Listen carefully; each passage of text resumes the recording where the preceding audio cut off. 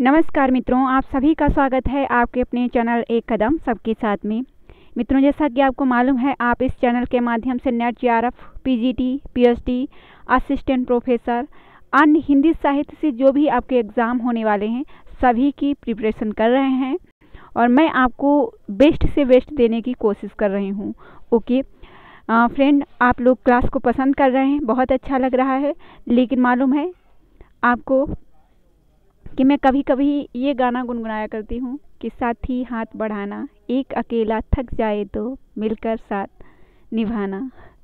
तो बस मैं अकेली पड़ जाती हूँ कभी कभी मुझे लगता है कि मैं अकेली हूँ बिल्कुल।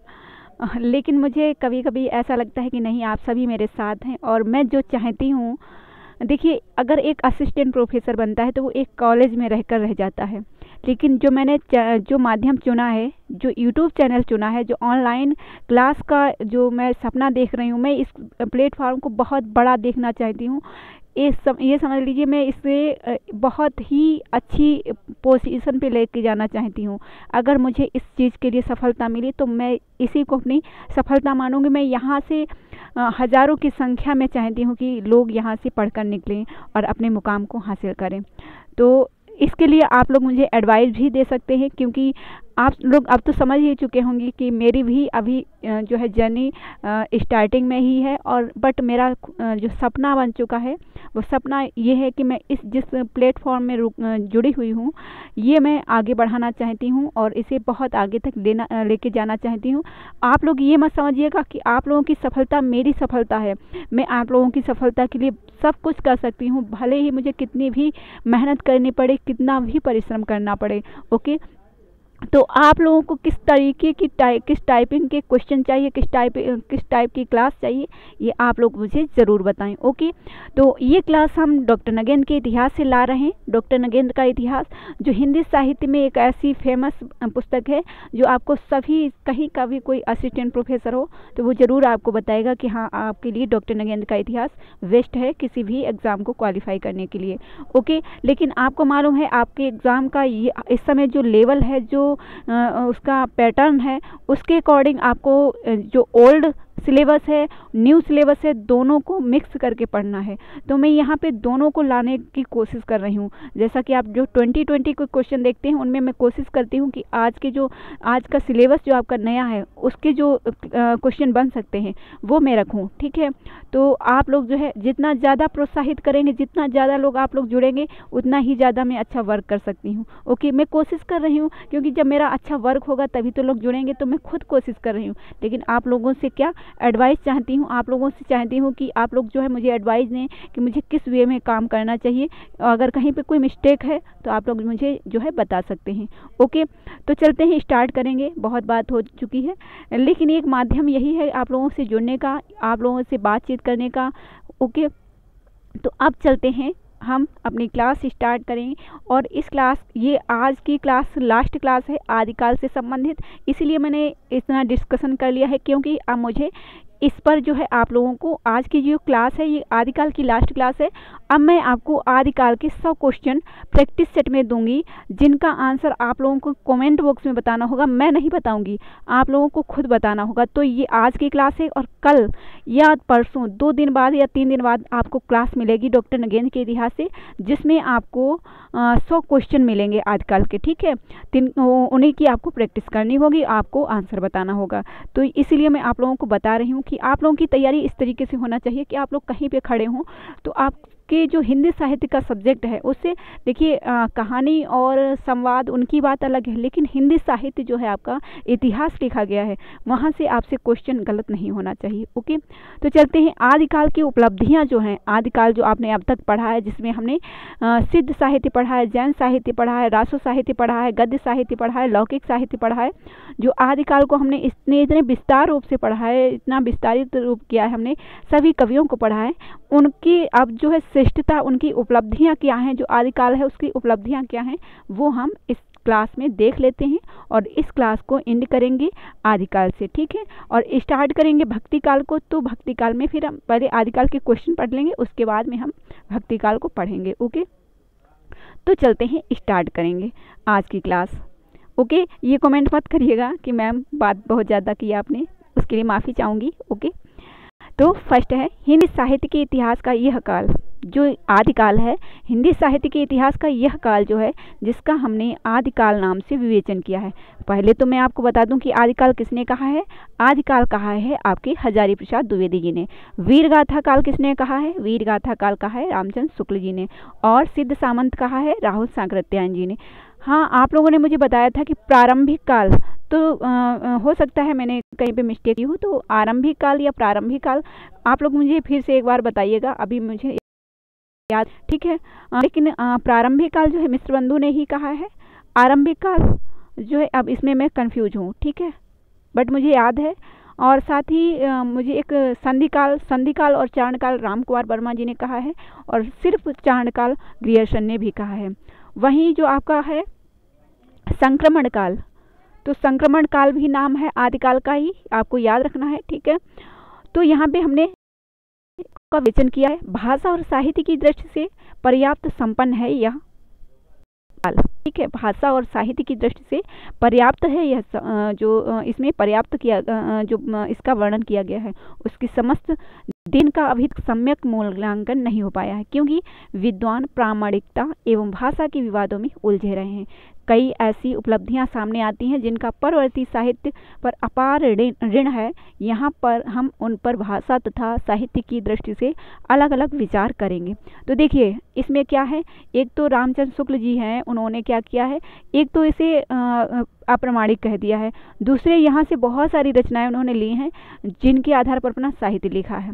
उनका आप हिंदी साहित्य पढ़ेंगे तो उसमें आपको बहुत सारी रचनाएँ उनकी मिलेंगी, जो आदिकाल की मिलेंगी। फिर उन्होंने जो है, फिर क्यों इसको अप्रमाणिक कहा है? ठीक है? अब चलिए देखते हैं भाषा रूप और संप्रेषण क्षमता क्या है इसकी? जैसा कि हम आरंभ में संकेत कर चुके हैं, आदिकाल में हिंदी भाषा साहित्यिक अभ्रंश के साथ साथ चलती हुई क्रमशः जनभाषा के रूप में साहित्य रचना का माध्यम बन रही थी। समस्त आदिकाल में दो भाषाओं की यह समानांतर रचना प्रक्रिया चलती रहने से अधिकांश विद्वान गंभीरतापूर्वक विचार करके दोनों भाषाओं के साहित्यों को अलग अलग करने का अवसर नहीं पा सके। फल यह हुआ कि कवि अभ्रंश के नाम पर भी हिंदी का आरंभिक माना जाता है रूप और साहित्य छोड़ दिया गया है। जो अभ्रंश भाषा है आ, उसके आधार पर जो है आरंभिक साहित्य छोड़ दिया गया है अभ्रंश कहकर। तो ये चीज़ें हैं यहाँ पे। अब नेक्स्ट हम देखेंगे क्या है। और कभी पुराने हिंदी के नाम पर अभ्रंश का परवर्ती साहित्य भी हिंदी साहित्य में सम्मिलित कर लिया गया जब भाषा का रूप और साहित्य ही अपनी सीमाएँ नहीं बना सका था, तब उसकी संप्रेषण क्षमता की जाँच कैसे होती? किंतु नई खोजों से अब यह धारणा स्पष्ट हो चुकी है कि जन भाषा के रूप में हिंदी आठवीं शताब्दी में ही साहित्य का माध्यम बन चुकी थी। अब यहाँ पे नोट करने वाला क्या है? देखिए फ्रेंड, जो लोग, जो भी फ्रेंड हमारे ये कहते हैं कि मैम साथ साथ ये बताते चलिए कि क्वेश्चन कहाँ से बन सकता है? तो यहाँ आप देख सकते हैं ये चीज़ आपको नोट कर लेनी है कि क्वेश्चन यहाँ से बन सकता है। हिंदी आठवीं शताब्दी में ही साहित्य का माध्यम बन चुकी थी। हिंदी किस शताब्दी में साहित्य का माध्यम बन चुकी थी? तो हिंदी आठवीं शताब्दी में ही साहित्य का माध्यम बन चुकी थी। तथा वह अभ्रंश भाषा के साथ अपनी भूमि पर आगे भी बढ़ने लगी थी। फलता अभ्रंश में साहित्य लिखने वाले कवि अवसर पाकर हिंदी में भी कविता किया करते थे। दोनों भाषाओं में यह स्पर्धा भक्ति काल के आरंभ तक चलती रही और अंत में एक दिन ऐसा भी आया था जब अपभ्रंश का खेमा छोड़कर सभी कवि हिंदी के मार्ग पर अग्रसर हो गए थे। कहाँ से? अब आप देख लीजिए, अमीर खुसरो से ही बात हो रही है। अमीर खुसरो जो है, उन्होंने अपभ्रंश का नहीं प्रयोग किया है, उन्होंने खड़ी बोली का प्रयोग किया है और उन्होंने ही हिंदवी का प्रयोग किया है। ठीक है, आपको ये याद रखना है, अमीर खुसरो आदिकाल के जो है, अंतिम रचनाकार माने जाते हैं। आदिकाल साहित्य में प्रयुक्त हिंदी की यह बहुत बड़ी शक्ति है, जो उसकी संप्रेषण क्षमता की सूचना देती है। एक विशाल क्षेत्र की अनेक बोलियों से उसका एक सामान्य रूप विकसित हो रहा था। फ्रेंड, अब यहाँ पे मैं बता दूँ कि अगर आप पी की प्रिपरेशन कर रहे हैं तो उसके लिए भी ये बहुत ही महत्वपूर्ण टॉपिक है ओके तो आई होप हो सकता है कोई भी स्टार्टिंग करे और तैयारी कर रहा हो, जो उसकी संप्रेषण क्षमता की सूचना देती है। एक विशाल क्षेत्र की अनेक बोलियों से उसका एक सामान्य रूप विकसित हो रहा था। वह मिथिला से मेवाड़ तक की व्यापक जनभाषा बनकर जनमानस को प्रभावित कर रही थी। संस्कृत, प्राकृत और अभ्रंश के शब्द भी यदि अपनी सीमा छोड़कर हिंदी का दामन पकड़ना चाहते थे तो कविगण बड़े प्रेम से उनके सामने अपना हृदय खोल देते थे। जनभाषा के प्रयोग की यह प्रवृत्ति धीरे धीरे जनजीवन के सभी रूपों को प्रस्तुत करने में समर्थ होती जा रही थी। आदिकालीन साहित्य की भाषा कठिनता से सरलता की ओर जाती हुई भी एक व्यापक रूप ग्रहण करने की ओर बढ़ रही थी। आदिकाल में ही जो है, हिंदी जो है साहित्य की ओर बढ़ रही थी और कठिनता से सरलता की ओर जाती हुई एक व्यापक रूप बना रही थी। दूर दूर रहते हुए भी तथा भिन्न भिन्न प्रवृत्तियों में रमते हुए भी सभी हिंदी कवियों की प्रतिभा एकत्व का आभास दे रही थी। मतलब अभ्रंश को छोड़कर उधर से जो है अब हिंदी की तरफ़ एक रुख हो गया और सभी जगह के कोने कोने से जो है रचनाकार अब हिंदी में रचनाएँ लिखने लगे थे। क्योंकि आपको मालूम है, आप अभ्रंश जब पढ़ेंगे तो उसमें आपको बहुत ही कठिनता होगी, लेकिन हिंदी का साहित्य इतना आसान आप पढ़ सकते हैं, इतना अच्छा रोचक लगता है आपको पढ़ना, है ना? अनजाने ही उन सब का एक ऐसा प्रयास चल रहा था, जिसके फलस्वरूप समस्त हिंदी क्षेत्र के बोलियाँ अपनी सांस्कृतिक एकता की स्थापना कर सकें। अब यहाँ पे आप देखेंगे एक चीज़ ये है कि कोई अगर शोधार्थी है, मुझे यहाँ पे बता सकता है कि वो अभ्रंश साहित्य से जो है शोध कर रहा है। बहुत ही कम मिलेंगे, क्योंकि अभ्रंश भाषा जो ऐसी है, उसको समझना आपके लिए थोड़ा कठिन पड़ जाएगा। क्यों आधुनिक काल ही चुनते हैं लोग? क्योंकि आधुनिक काल के रचनाकारों ने इस तरीके से साहित्य लिखा है, वो आम बोलचाल की भाषा मालूम पड़ती है। आप जब उसे पढ़ेंगे तो ऐसा लगेगा आपके सामने ही वो दृश्य चल रहा है। लिखा साहित्य आदिकाल अभ्रंश में भी वैसा ही लिखा गया, लेकिन अभ्रंश भाषा हमारे जो है नॉलेज से परे है। उसको हमें समझने में कठिनता होती है। इसी चमत्कार के फलस्वरूप पंद्रहवीं शताब्दी का अंत होते होते हिंदी का वह रूप उभरा, जो समस्त देश की प्रमुख सांस्कृतिक भाषा बन गया। आदिकालीन हिंदी का संस्कृत और संस्कृत की ओर जाने वाला व्यापक जनभाषी स्वरूप अवधि रूप में भी पर्याप्त संप्रषणीय था। कवियों ने उन शब्दों को छोड़ दिया था जो घिसे पिटे धार्मिक अर्थों को ढोते थे। तत्कालीन जीवन की भावभूमि का साथ देने वाली शब्दावली सरल रूप में भी सशक्त होती जा रही थी। उसमें नए पुरुषार्थों तथा नए अनुभवों को व्यंजित करने की शक्ति बड़ी स्फूर्ति के साथ जन्म ले रही थी।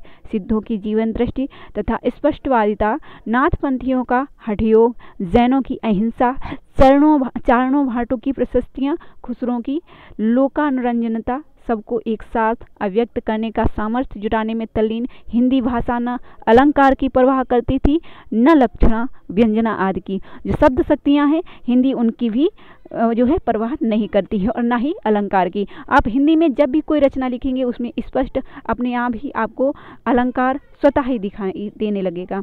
ये सब सब साधन सहज ही उसकी अनुवर्ती हो जा रहे थे। देखिए यहाँ पे लिखा है स्पष्ट लिखा है कि जब आप कोई हिंदी कविता लिखेंगे आप अपने आप में ही कोई अप, अपनी अभिव्यक्ति देंगे लेकिन उसमें अलंकार स्वतः ही आपको दिखने लगेगा। यही कारण है कि आदिकालीन साहित्य की भाषा एक ओर तो रूप भेद होने पर अभेद है और दूसरी ओर संप्रेषण क्षमता में भी वह बेजोड़ है। कोई भी अलंकार ऐसा नहीं जो उसमें न फफता हो। कोई भी छंद ऐसा नहीं जो उसका साथ न देता हो। तो उसमें कवियों ने जीवन के जिस किसी भी पार्श्व को चित्रित किया है, वह सजीव होता है। आदिकालीन कवियों का हिंदी भाषा की रूपात्मक एकता का प्रयास जो पंद्रहवीं शताब्दी तक पहुँचते पहुँचते पूर्ण सफल हो चुका था, इतिहास से मिटाया नहीं जा सकता है। अब यहाँ पे आपने हिंदी भाषा को जो उपलब्धि मिली है इसमें तो वह मिली है हिंदी साहित्य की उपलब्धता, कि हिंदी साहित्य किस तरीके से, हिंदी भाषा की किस तरीके से, हिंदी भाषा का विकास जो है, किस तरीके से आदिकाल में हुआ है।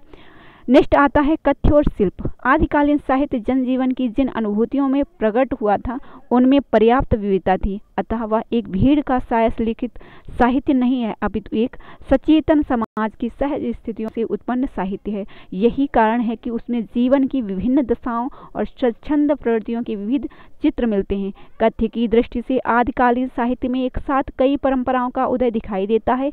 अभ्रंश और संस्कृत की रचनाओं में इनमें से कुछ परंपराओं के स्रोत अवश्य हैं, किंतु उनकी शक्ति और गंभीरता हिंदी की अपनी देन है।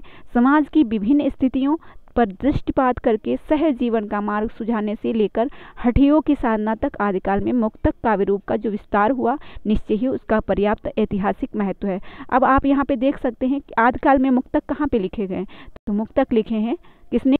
सिद्धों ने लिखे हैं। तो यहाँ पे आपको सिद्धों का जो काव्य रूप ज़रूर मिलेगा देखने को। अगर आदिकालीन सिद्धों और नाथपंथियों का, के काव्य रूपों को हिंदी क्षेत्र में निकाल दिया जाए तो फिर भक्तिकालीन निरूढ़ पंथियों की गंगा का उद्गम बताना कठिन हो जाएगा। क्योंकि जो संत कवि हैं, उन्होंने वहीं से जो है अपना साहित्य लिया है। उन पर प्रभाव वहीं से पड़ा है।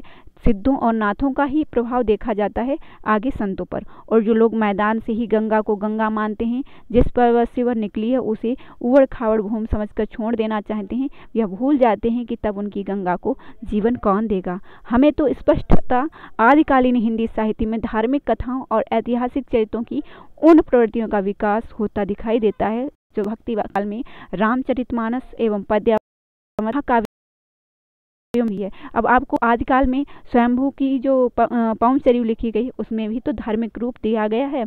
प्राकृत और अभ्रंश में राउलविल तथा श्रृंगार की जो परंपरा आई थी, वह भक्ति काल को प्रभावित करती। अब यहाँ पे आपको ये भी नोट कर लेना है कि और अभ्रंश जो है इसमें जो राउल बेल है, इसमें भी भक्ति है, आप देख सकते हैं, और वही परंपरा आगे भक्ति काल को प्रभावित करती है। रीति काल तक चली आ रही है। देखिए, अभ्रंश जो है, आदिकाल से ये जो है, यहाँ से भक्ति काल से होते हुए रीति काल तक पहुँची है। नारी के सहज श्रृंगार से लेकर उनके मानसिक सौंदर्य तक पहुँचने की प्रवृत्ति भी आदिकाल में पूर्ण वेग से उभरी है। नक्सिक वर्णन। नक्सिक वर्णन मैंने आपको कई बार बताया है कि नक्सिक वर्णन जो है, कहाँ से शुरुआत हुई है? एक तो आप जब पढ़ेंगे राउलवेल ठीक है? जो आपका चंपू काव्य है, वहीं से आपको जो है नक्सिक वर्णन मिलेगा। विरह के विभिन्न रूप मिलेंगे। विरहिणी नायिका द्वारा प्रियतम के पास संदेश प्रेषण, स्वकीय और परकीय के प्रेम की सीमाएँ हैं। ये सब आदिकालीन साहित्य के कथि में अंतर्निहित हैं। स्वकीय और परकीय क्या है? ये नायिका के भेद हैं, ओके? एक तो स्वकीय होती है, दूसरी परकीय होती है। अब जब हम नाटक पढ़ेंगे तो उसमें आपको इनके भेद के अर्थ बताएँगे। नेक्स्ट है आपका ये सब आदिकालीन साहित्य के कथि में अंतर्निहित हैं। सभी तथ्य यहाँ पे बहुत ही महत्वपूर्ण हैं आपके लिए। इनके कारण अनेक काव्य रूपों एवं अलंकारिक वर्णन को वर्णनों की परंपराओं का विकास हुआ है। यही वह युग है जब नाथों का दुरूह हठ योग काव्य भी यदि रचा और सुना जा सकता था तो खुसरो की मनोरंजक पहलियाँ भी यहाँ पे जो है वीर रसपूर्ण कविता में भी लोग बड़ी रुचि लेता, लेते दिखाई दिए हैं। ठीक है? अग्नि के सुख से लेकर छत्राणी की वीरपति की बल तक कवियों की प्रतिभा का विस्तार था। प्रकृति के अनेक विध रूपों के साथ मनुष्य जीवन के विभिन्न स्वरूपों को चित्रित करने में भी इस युग के कवि पूर्ण सक्षम थे। उनके पास प्रकृति के सौंदर्य को ग्रहण करने की ही नहीं, उससे अपनी अव्यंजना को समर्थ बनाने की भी प्रतिभा थी। आदिकाल के जो रचनाकार थे, वो प्रकृति का ऐसा वर्णन किया करते थे कि वो लगता था कि उनकी अपनी अभिव्यक्ति हो। तात्पर्य यह है कि इस युग में एक साथ धार्मिक मनोवृत्तियों का सात्विक चित्रण मिलता है। श्रृंगार की सहसरकता दिखाई देती है। वीर रस के फूजाएँ फड़फड़ाने वाले दृश्य मिलते हैं तथा ऐसे चित्र सामने आते हैं जिनसे एक स्वतंत्र जाति के अहंकार का पूरा बिंब उसकी समस्त टूटने के साथ उभरता है। फिर आते हैं, आगे देखिए। आदिकालीन साहित्य में कथ्य की विविधता के साथ छंद प्रयोग की विविधता भी रही है। आदिकाल में आपको अनेकों, अनेक छंदों का प्रयोग मिलेगा। डॉक्टर हजारी प्रसाद द्विवेदी ने छंद की दृष्टि से कुछ सीमाएँ बनाई हैं। उन्होंने श्लोक को लौकिक साहित्य लौकिक संस्कृत का, गाथा को प्राकृत का, तथा दोहे को अभ्रंश का मुख्य छंद स्वीकार किया है। अब यहाँ पे ये चीज़ आपके लिए बहुत ही महत्वपूर्ण है कि ये चीज़ें किसने दी हैं और क्या क्या दिया है? आपको नोट कर लेना है, ठीक है? तो यहाँ पे वस्तुतः दोहा छंद अवरंश में जनभाषा से ही गया था, इसलिए इस छंद को हिंदी का मुख्य छंद मानना चाहिए। विक्रमोवर्षीय के चतुर्थ अंग से डॉक्टर द्विवेदी ने अवरंश के नाम पर यह दोहा उद्धत किया है। क्या कहा है? द्विवेदी जी ने कहा है महजाणी मिय लोड़ी अरु कोई हरी जामड़ू अणत लिसामल धारा हर वरिसे। तो मित्रों, देखिए, मुझे तो अभ्रंश भाषा पढ़नी आती नहीं और मैं कभी पढ़ना भी नहीं चाहूँगी, क्योंकि इसे कौन सिखाएगा? और आप लोग भी शायद इतनी कठिन भाषा पढ़ना और लिखना नहीं चाहेंगे कि ऐसी भाषा पढ़ने और लिखने से क्या फ़ायदा है, जिसको जो है कोई समझ भी ना पाए और उसमें इतनी कटुता हो कि पढ़ने में कोई रस भी ना आए, है ना? तो मैं तो अभ्रंश भाषा को पढ़ना नहीं चाहूँगी, मैं हिंदी साहित्य ही, मुझे हिंदी खड़ी बोली ही पसंद आती है, जो आपको दिलों से जोड़ती है, आपकी भावनाओं को समझती है। यहाँ पर जो है मेरी समझ में नहीं आता है कि इसका अर्थ भी क्या होगा, ओके? लेकिन एक उदाहरण के तौर पर मैंने आपको ये बता दिया है कि ये यहाँ पे ये दोहा जो है उद्धृत है। ठीक है? आरंभिक हिंदी और अभ्रंश को एक भाषा मानने वाले विद्वान ही इस दोहे को अभ्रंश का उदाहरण मान सकते हैं। अन्यथा, इसमें आरंभिक हिंदी की प्रवृत्तियाँ ही प्रधान हैं। आदिकालीन हिंदी साहित्य में दोहा छंद इस प्रकार की हिंदी भाषा का सबसे प्रबल माध्यम रहा है। देखिए, अगर पूछा जाए जो अभ्रंश है या आदिकाल का प्रमुख जो छंद है, वह दोहा छंद। स्वच्छंद अनुभूतियों के चित्रण के लिए अधिकांश हिंदी कवियों ने इसी छंद को चुना है। इस छंद की परंपरा भक्ति काल और रीतकाल से होती हुई आधुनिक काल तक चली आई है। डॉक्टर हजारी प्रसाद द्विवेदी के मतानुसार क्या कहा है?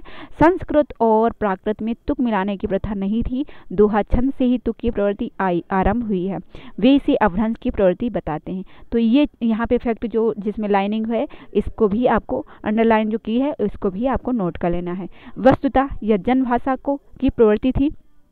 जो उसके साहित्यिक भाषा बनने पर रचना का मुख्य अंग बन गई। अभ्रंश ने भी जनकंठ से ही इस प्रवृत्ति को ग्रहण किया था, अतः अभ्रंश और हिंदी दोनों में दोहा शैली का प्रयोग एक ही स्रोत से आरंभ हुआ। यह कथन सत्य प्रतीत नहीं होता कि अभ्रंश ने हिंदी को दोहा शैली दी थी। अभ्रंश ने, अभ्रंश के बहुप्रचलित छंद तो यहाँ पे देखिए पंचट्टिका अरिल और उनकी, उनसे बने कड़वक आदि थे। देखिए, यहाँ पे दोहा के साथ साथ ये पंचटिका और अरिल और उनसे बड़े, बने जो है कड़वक, ये अभ्रंश के ही प्रचलित छंद हैं, जो हिंदी की आदिकालीन साहित्य में दोहे के समान लोकप्रिय नहीं हुए। अरिल के स्थान पर हिंदी में चौपाई का प्रयोग होने लगा। अब देखिए, ये भी आपसे क्वेश्चन पूछा जा सकता है अंडरलाइन है कि अरिल के स्थान पर हिंदी में किस छंद का प्रयोग हुआ? तो चौपाई का जो है प्रयोग हुआ है। कथा काव्यों में इसकी प्रतिष्ठा देखी जा सकती है। जैसे आप रामचरितमानस पढ़ेंगे तो वहाँ पे दोहा और चौपाई ही आपको मिलेगी। इसकी लोकप्रियता को देखकर ही भक्तिकाल में जायसी और महाकवि तुलसी ने आदिकाल का ऋण स्वीकार किया है। चौपाई के साथ दोहा रखकर कड़वक बनाने की जो प्रथा सिद्धों ने अपना, अपनी हिंदी रचनाओं में आरंभ की थी। अब यहाँ पे आप देख सकते हैं कि कड़वक का अगर अर्थ पूछा जाए तो क्या है? तो चौपाई के साथ दोहा जो रखा जाता है, वही कड़वक शैली है। दोनों महाकवियों ने अपने काव्यों की मुख्य शैली बनाया, ठीक है जो आपके सिद्ध थे और फिर आगे जो और रचनाकार हुए हैं उन्होंने। आजकालीन रासो काव्यों में वीर रस की व्यंजना के लिए छप्पे, तोटक, तोमर पद्धरी और नाराज़ का प्रयोग किया गया। मित्रों, यहाँ पे जो है आपके लिए ये टॉपिक बहुत ही महत्वपूर्ण है। यहाँ पे जो मैंने अभी पंचटिका, अरिल और ये सभी कड़वक जो बताए, उनके साथ साथ आप छप्पे, तोटक, तोमर पद्दरी और नाराज़ जैसे जो छंद दिए गए हैं, इन्हें भी आपको नोट कर लेना है। इनमें से कुछ छंद अभ्रंश में भी प्रयुक्त हो रहे थे, अतः कुछ विद्वान शैली की समानता के कारण रासो काव्यों को भी अभ्रंश का काव्य समझ बैठे थे। आल्हा या वीर छंद आदिकाल में दोहा के समान ही लोकप्रिय रहा होगा। जगनिक ने उसी लोकप्रियता को देखकर बनाकर, परमाण रासों में उसे काव्य की एक विशेष शैली बनाकर प्रयुक्त किया है, जिसमें कड़वक शैली का प्रयोग किया गया है। ओके? नेक्स्ट है छंद के अतिरिक्त कथा कहने के ढंग की भी कुछ शिल्प पद्धतियाँ इस काल में प्रचलित रही हैं। इनमें कथानक रूढ़ियों का महत्व है। रासो ग्रंथों में इस प्रकार की रूढ़ियों का विशेष प्रयोग मिलता है। सुख, दूती, देवी शक्तियाँ आदि इन रूढ़ियों के साधन रहे हैं। ये रूढ़ियाँ अभ्रंश साहित्य में भी मिलती हैं। संस्कृत साहित्य भी इनसे अछूता नहीं रहा है। अतः हिंदी की आदि, आदिकालीन साहित्य में इनका प्रयोग काव्य रचना की एक सांस्कृतिक घोतक है, जिसका आगे भी विकास होता रहा है। इन्हीं रूढ़ियों में से एक महत्वपूर्ण रूढ़ी थी संवाद शैली, जिसे आगे चलकर तुलसी जैसे महाकवि ने भी अपनाया था। अब आप समझ सकते हैं कि आज काल से भक्ति काल में किस तरीके से आया। आपकी पौमचरियों में भी दोहा और चौपाई का ही प्रयोग हुआ है।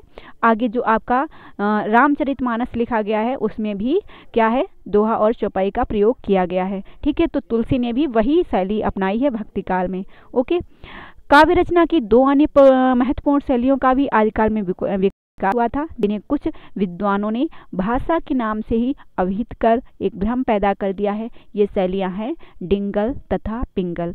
डिंगल कौन सी शैली है? आपको बता दें यहाँ पे। डिंगल एक कर्कश भाषा है, जिसमें राजस्थानी और अपभ्रंश का प्रयोग किया गया है। पिंगल वह भाषा है, जिसमें थोड़ा आपका काव्य रूप मिलता है, मिठास मिलती है, जो भा ब्रज भाषा है। ब्रज भाषा वैसे ही मीठी होती है। तो ब्रज और अभ्रंश का जो प्रयोग किया गया है, वह पिंगल में किया गया है। him. अब आप देखेंगे, आदिकालीन हिंदी साहित्य में वीर रस की रचनाओं में डिंगल शैली का प्रयोग होता था तथा कोमल भावों की अवहेलना पिंगल शैली में की जाती थी। जब कवि डिंगल शैली का प्रयोग करता था तो वह हिंदी बोलियों के कर्कश शब्दों को अपनाता था, किंतु पिंगल शैली के प्रयोग में धीरे धीरे कोमल शब्दावली का विकास हो रहा था।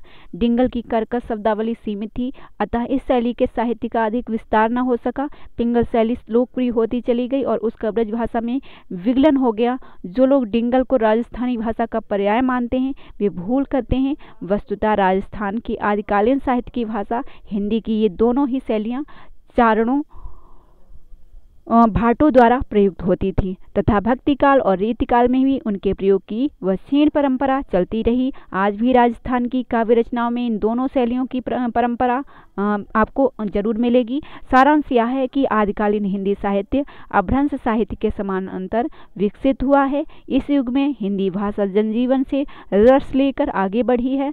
उसने अपनी अनेक बोलियों को एक रूपता की ओर बढ़ाकर एक सूत्र में बांधा है। जीवन के विविध पक्षों का उसके साहित्य में चित्रण हुआ है।